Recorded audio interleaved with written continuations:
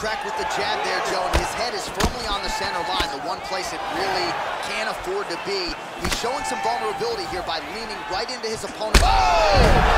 He's out!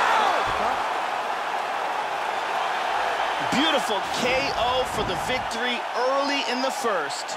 Yes, sir, it goes into the books as a first-round win by knockout, near-perfect execution. The technique was absolutely gorgeous, and again, when you catch a guy early, maybe you're getting him cold before he's had a chance to work up a sweat or even get into the fight a little bit, those strikes can have a bigger effect, and it certainly did here tonight.